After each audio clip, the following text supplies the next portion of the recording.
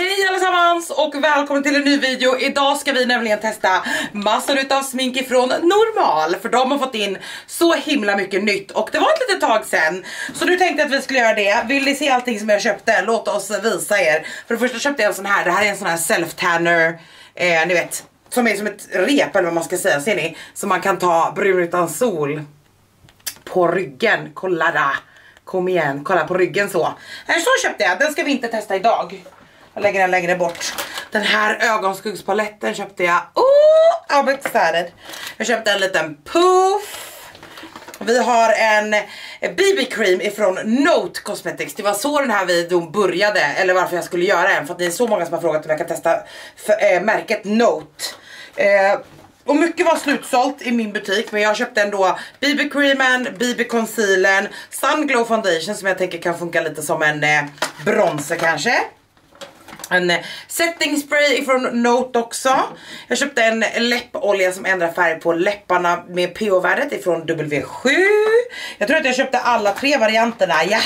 Det fanns tre stycken färger, ser ni, som ska ändra färg på läpparna. Jag får se om jag testar med den här videon för jag har för mig att jag köpte några till läppprodukter.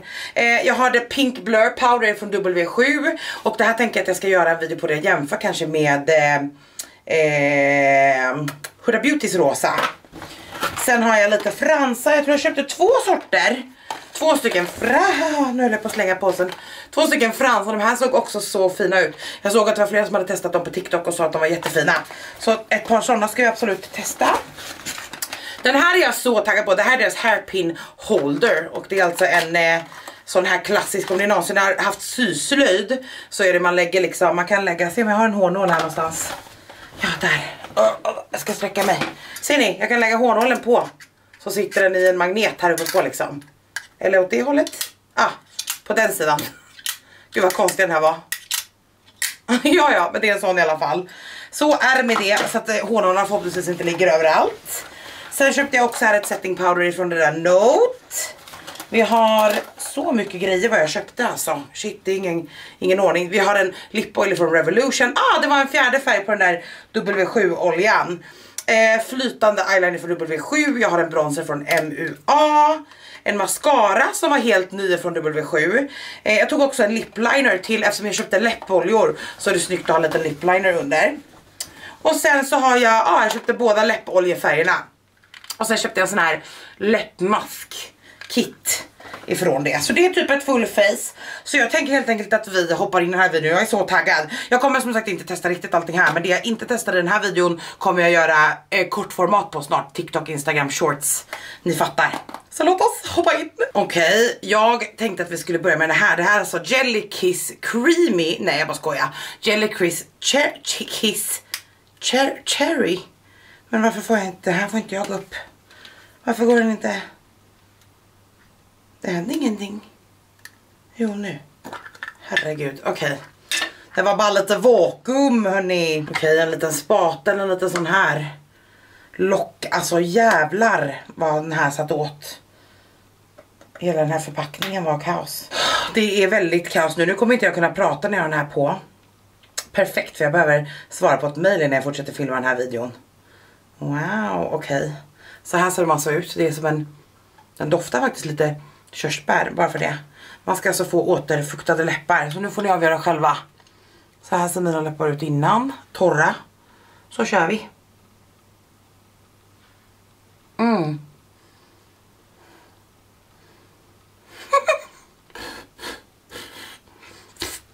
Okej, okay. jag har haft den här på mig i kanske sju minuter nu typ. Mm, det var väldigt mycket serum på den. Det är fortfarande liksom fuktigt gott och väl under den här. Eh, jag tycker nog faktiskt att mina läppar är lite mer återfuktade än innan. Men jag tänker att jag hade fått det resultatet om jag bara hade smetat på lite, eh, lite vanligt serum. Jag tar ett litet läppar som det här är Labello. Eh, för att låsa in all den där fukten som jag nu fick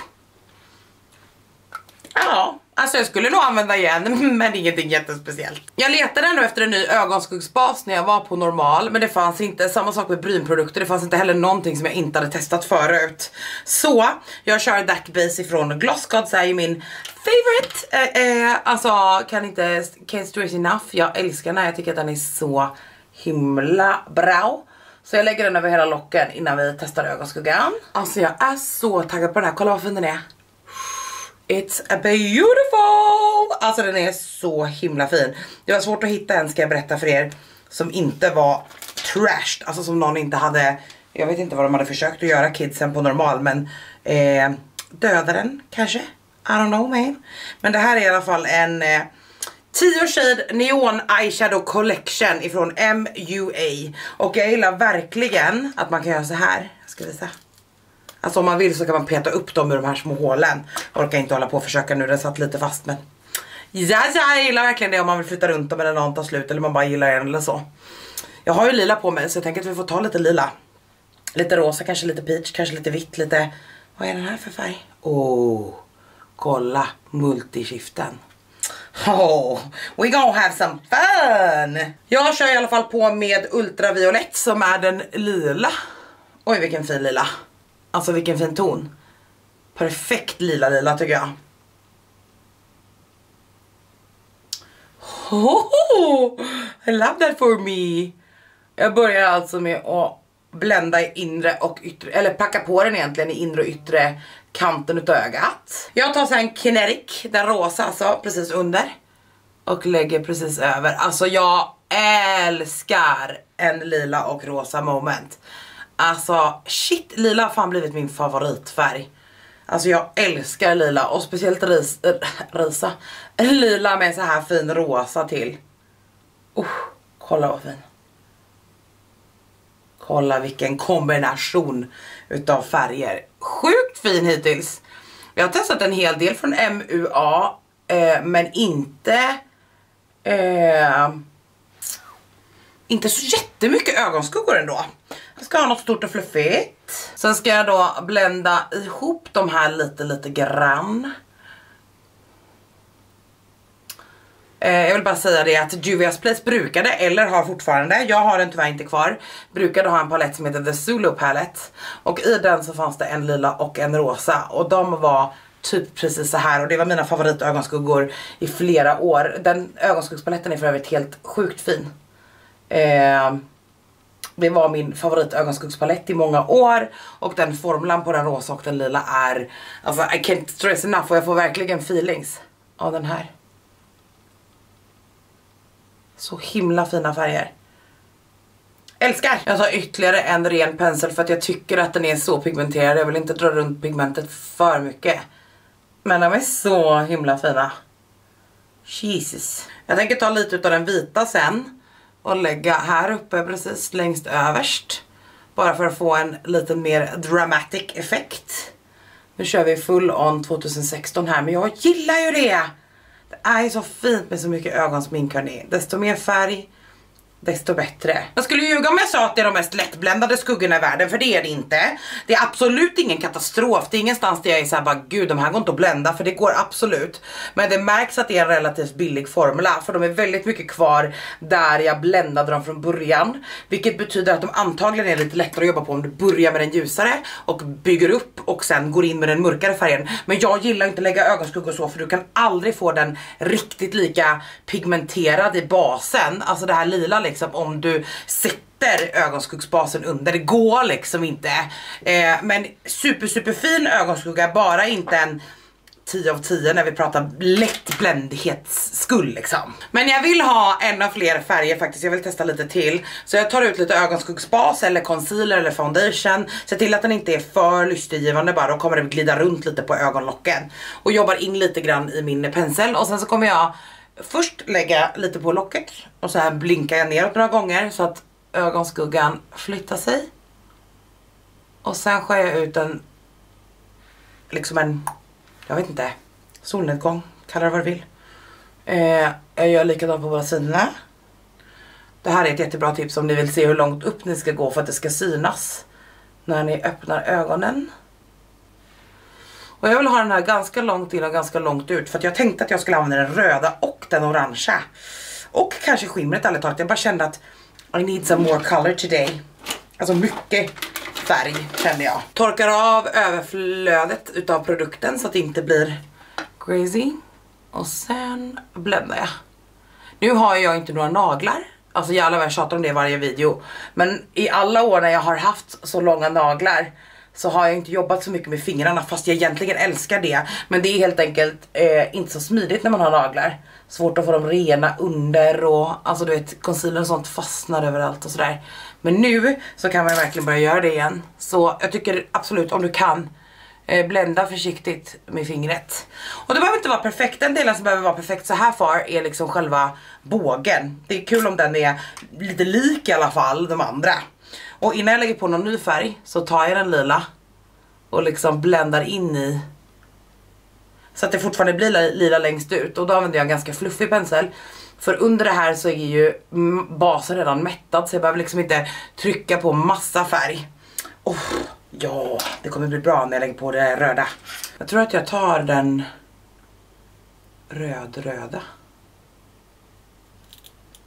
Pigment men inte något vansinnigt.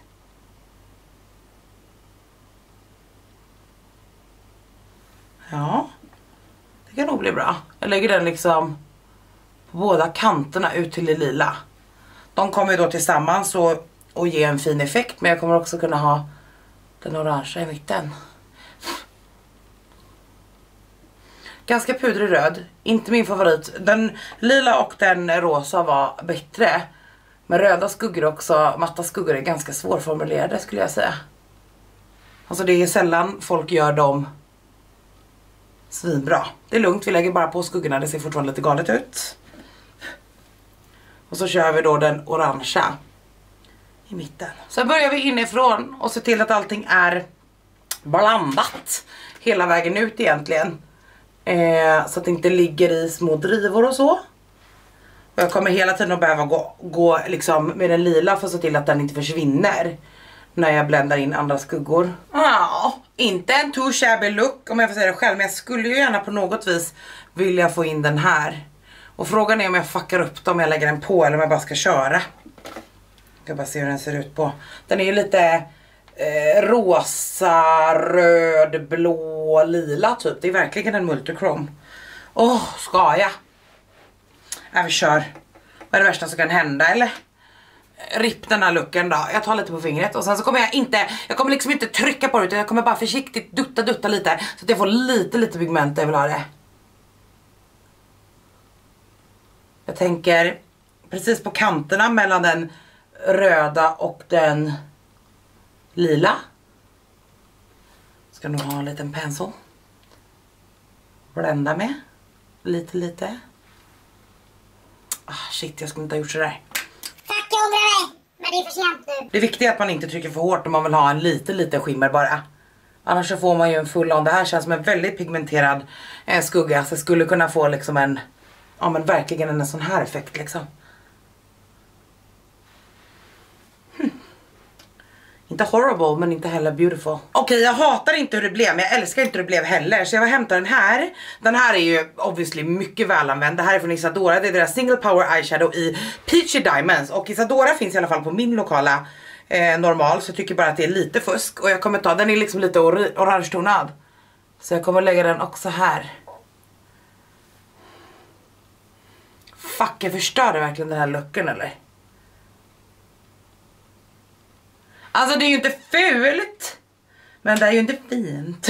Och ni förstår vad jag menar. Det var ju bättre innan.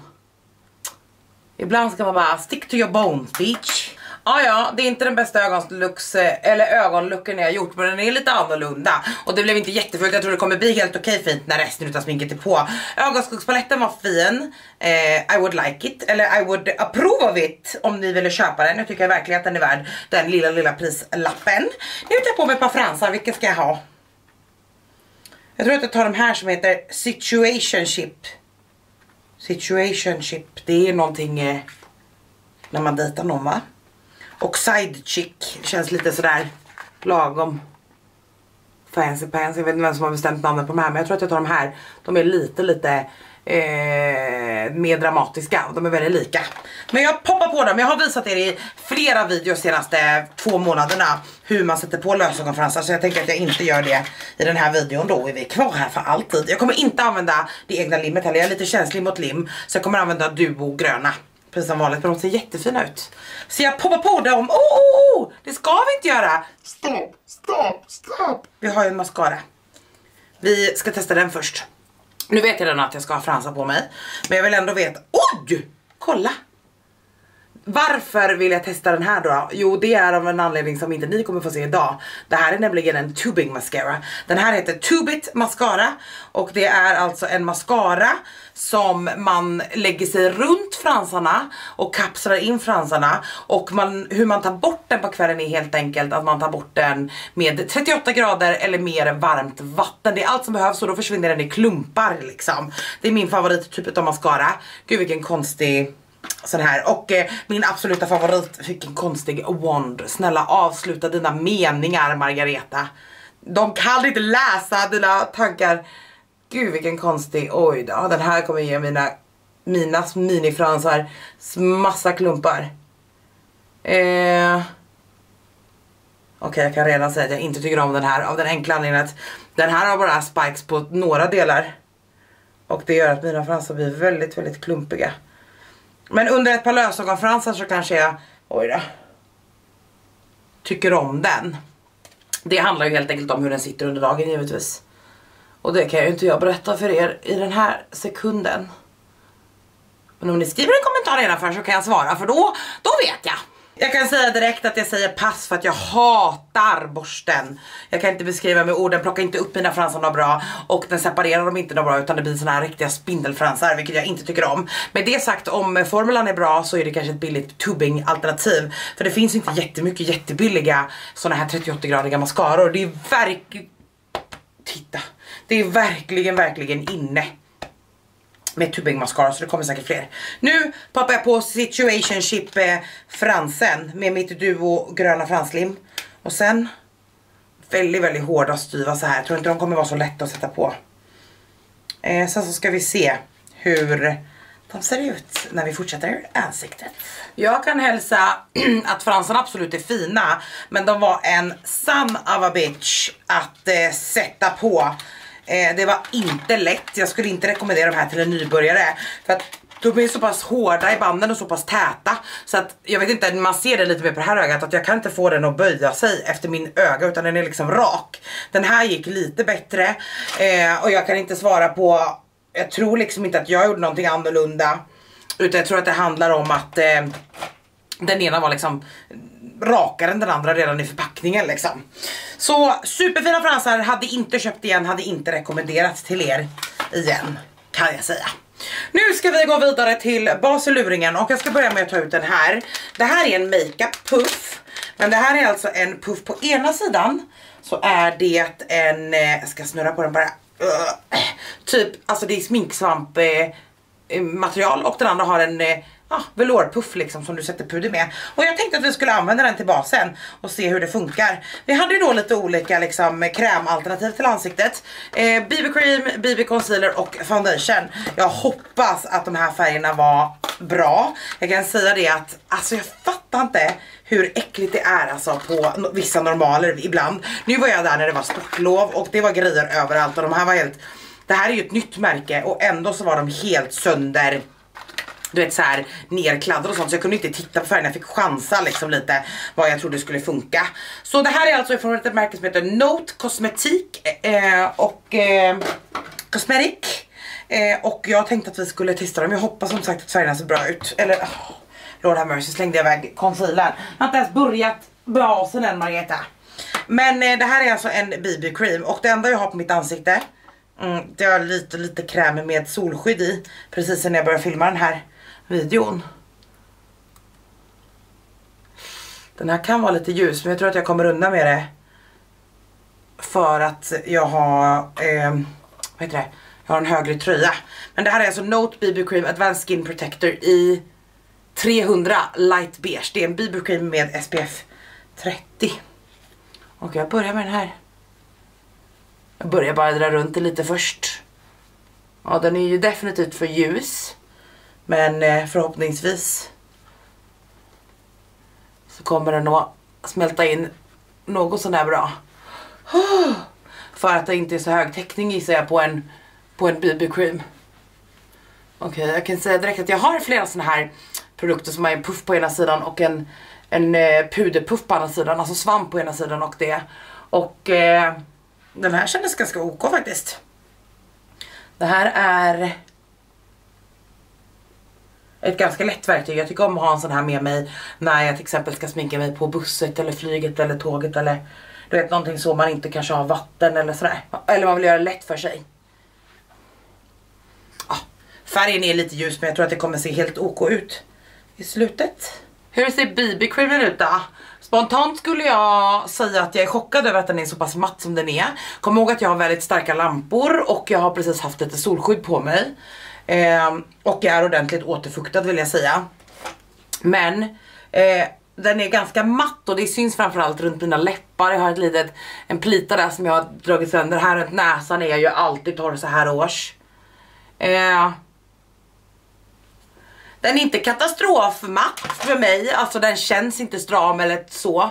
Men den är också, jag föredrar en BB cream med lite mer lyster. Men för den här prislappen, den var väldigt väldigt väldigt billig så tycker jag att den är rätt check faktiskt. Jag skulle också säga att den har lite mer täckning än vad jag är vanligtvis van vid när det kommer till en BB cream.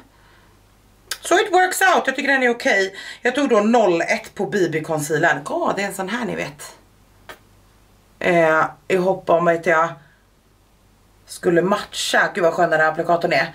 Jag älskar inte såna här applikatorer för att jag tycker ibland att det är lite svårt att få ut produkt i rimlig mängd och så. Eh, men den är ganska skön under ögonen. Alltså nu tar jag inte ut någon ny produkt utan nu bara jobbar in den jag har. Och det är ganska gött att ha något lite kallt sådär. Jag gillar det. Oj, den hade också mer täckning än vad jag trodde. Jag förväntar mig typ att en sån här produkt ska vara mer typ bara eh, ljusreflekterande, lite återfuktande med lite pigment liksom. Men de här var ganska full on foundation concealer. Jag vet inte riktigt varför man har döpt dem till BB.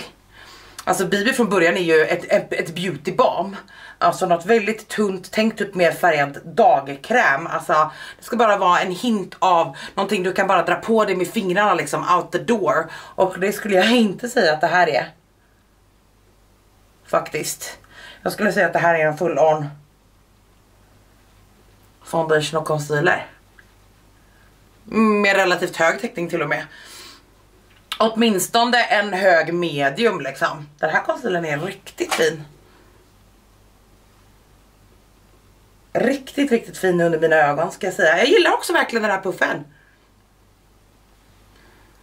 Jag ser rätt torr ut där jag, där jag vet om att jag är torr, alltså den förhöjer verkligen torrfläckar lite. Men annars så ser resten av min bas väldigt fin ut. Måste jag säga. Och underögonen som sagt otroligt fin så de var faktiskt godkänt av mig båda två vid den första applikationen alltså. Svårt att veta hur de här håller över dagen. Såklart. Men väldigt fin. Och den sista produkten då, det här var också väldigt oklart. Den här heter Sun Glow Foundation. Och jag förstår inte varför den här heter det. Den här är så obviously tydligt en flytande bronzer för mig. För att eh, en så här varm produkt, nu har inte jag testat exakt den här färgen men den som jag pillade på lite grann. Eh, alltså en foundation är ju inte lystrig för det första på det här sättet. Den är liksom mer som en, ser ni? Highlighter. Och färgen är också inte en typisk, eh, kanske foundation färg liksom. Sen finns det kanske någon i hela världen såklart med den här typen av underton. Men det är inte en väldigt vanlig. Och alla färgerna, jag vet inte. Jag tror att ni förstår vad jag menar. Jag har lagt ut lite grann och sen tar jag lite grann direkt på puffen så att det inte bara direkt suger ut det som är på huden. Eh, jag använder den här som en bronzer. Eh, ska jag vara ärlig så tycker jag att det här verkar vara mer en highlighter. Men jag har en matt bronzer att lägga uppe på men jag tycker att det blir fult. Nej men jag bara, den här är väldigt väldigt tydligt på färgvalen om ni tittar på den i butik. Mer eh, en eh, flytande highlighter eller en flytande bronzer. Jävligt fräsch om jag får säga så själv. Ingen skulle kunna ha den här, den här över hela ansiktet. Det är mest formulan som gör att jag förstår inte varför man kallar det en foundation. Färgerna är ju så här, såklart finns det människor över hela världen i alla möjliga färger och undertoner. Men det här är liksom inte, ah, om, ni ser, om ni tittar på dem så ser ni vad jag menar. Eh, men den är ju jätte jättefin kan nog ta lite, lite till faktiskt. Jag jobbar in det lite grann i puffen innan jag trycker. Kolla, den här var jätte, jättetjusig. Tycker ni inte? Jag ser dunderfräsch ut med den här. Jag vet bara inte varför den heter som sagt foundation. Det stör mig lite. Jag ska bara torka av med min lilla, det jag har på handen. Den är verkligen skimrig vill jag säga, så om ni är rädd för typ glitter i ansiktet så hade jag inte tagit den här. Med det sagt så tycker jag att den ser jätte jättefräsch ut. Och jättefin. Och jag tog ju den ljusaste färgen även i den som heter 10 då. Eh, och wow. Kolla. Vilken skön lyster. Jag ska säga det att jag inser nu att jag har helt tappat mig och inte har någon rouge. Jag ska kolla om jag går och har, om jag har den i lådan från normal. Det är inte, det är inte ovanligt när jag inte hunnit testa något än. Men kolla vad fin den är. Det här var ju den då matta bronzing powder. Men jag tror att jag sparar den här till en kommande normal video alternativt en, en liten eh, eh, reel, TikTok, short, kalla det vad du vill. Så ska vi se. Men jag ska bara kolla om jag mot förmodan har ett rouge innan vi går vidare med puder och setting spray och så. Men wow! Den här var helt klart finast hittills och det var den här produkten jag var mest skeptisk till för att jag inte förstår varför de kallar den för foundation. Jag hade ingen eh, jag hade ingen blush eller highlight, alltså vi skiter i det. Jag ser så jävla fräsch ut på kinderna ändå så jag tycker ändå inte att det behövs. Det här är Notes Translucent Setting Powder. Eh, den fanns i några färger och så också. Och något som jag tyckte var intressant som stod på den här är att det står Blue Light Protection. Och det borde betyda att det också är solskydd av något slag i den här. Och det i sin tur borde... Eh, gör att den här lämnar väldigt mycket flashback, alltså att man blir väldigt vit under ögonen och så på uh, foto. Jag kommer använda puffen som jag har använt här. Jag ska bara snurra på den här igen. Sen tar jag puffsidan. Så ska vi se här. Om vi kan få lite... Blås inte på saker, det är ohygieniskt. Jag har bara jävla dålig vana. Se till att man inte sätter någonting. Den här concealern är för övrigt så jävla Oj, oj, oj. Så jädra fin vill jag säga. Concealern är ljuvlig.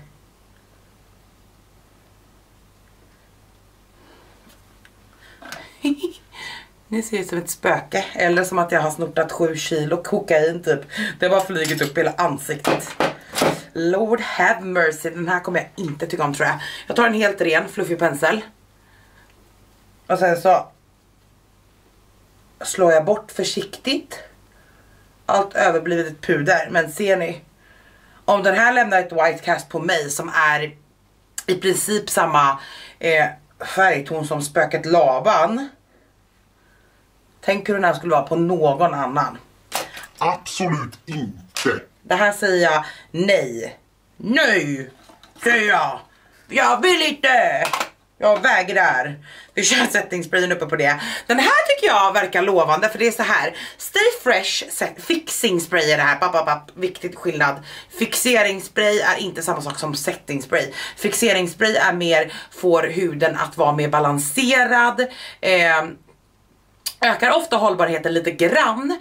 Eh, torkar ofta inte ut huden lika mycket som en setting spray gör. Och eh, eh, smälter liksom ihop sminket så att man ser snyggare ut. Alltså sminket ser snyggare i texturen och så vidare ut. Eh, och det vill jag säga är skillnaden på en setting spray och en fixing spray. Men det här är Stay Fresh Fixing Spray med Earth Marine Water. Och när man tittar då på, alltså jag vill också säga det att det är alkohol i den här men i regel så är det inte lika mycket alkohol. Jag tycker det är, ibland kan vara lite svårt att avgöra. Jag vet hur en inkelista funkar men It is what it is, skitsamma. Jag vill bara säga det att ibland så kan en fixing spray vara, jag ska bara se om man får några Nej, bara kolla så att man inte får några vita fläckar eller glitter. Åh, ah, oh, lite till. Fan alltså, jag älskar den riktigt bra. Mist, det var den här så man får lite faktisk spritseluring. Se till att det torkar ordentligt.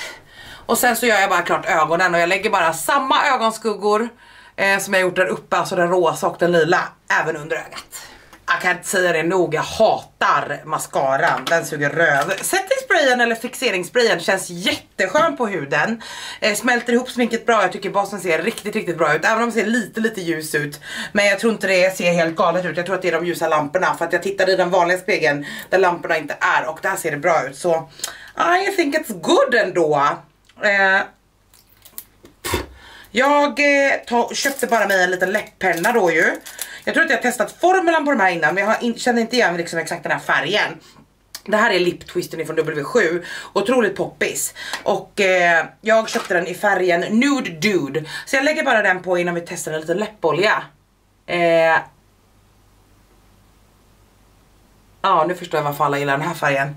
Jag sökte snabbt på TikTok när jag stod i butiken. För att ta reda på vilken alla gillade. Nu förstår jag. Formulan är en jättefin och väldigt pigmenterad och mjuk eh, gelformula.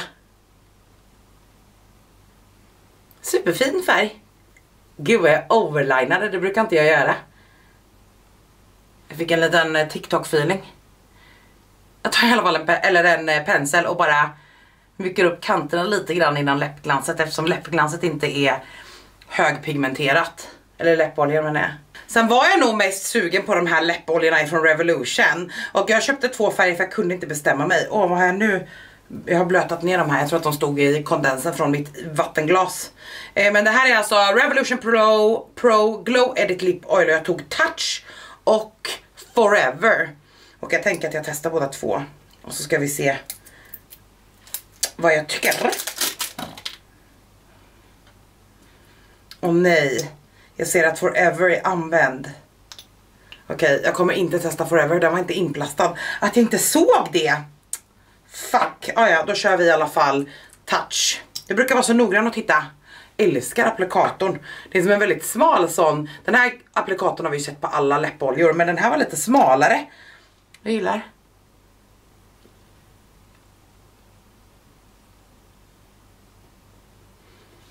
Luktar skitgott, ni vet sådär karamelligt, eh, vaniljigt som jag gillar. Kolla vad fin. Älskar applikatorn. Ah fan, något sa mig att jag skulle gilla den här läppoljan alltså. Och jag gillar verkligen den här läppoljan. Det här var alltså färgen touch. Och även om jag har en läpppenna under nu så superfint glans, minimalt med skimmer jättebekvämt, älskar förpackning och applikator. Den här var nog bäst i hela videon. Och där har ni dagens färdiga look, not too bad om jag får säga det själv.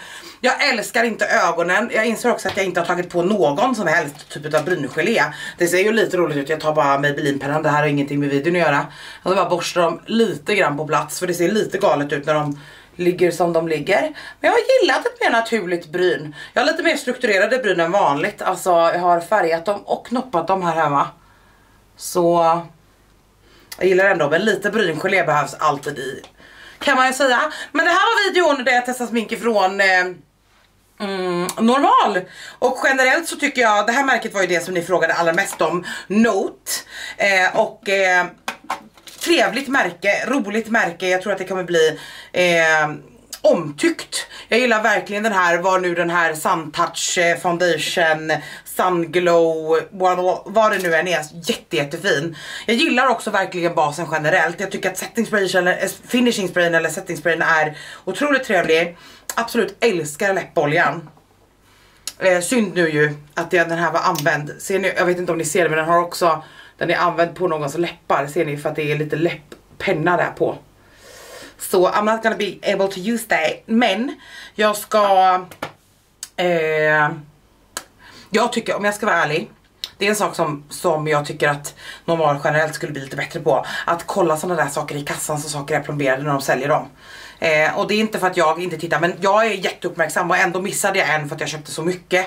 Och då tycker jag det är liksom ah, fett bortkastade pengar. Jag önskar bara att de var lite mer uppmärksamma.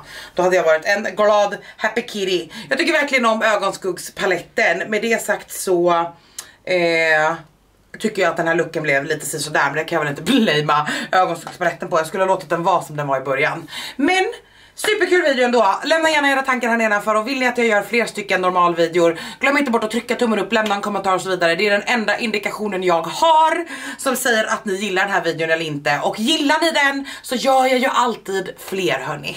Tack för att ni kikade idag, glöm inte bort att prenumerera om du inte redan gör det. Så syns vi igen snart. Mm.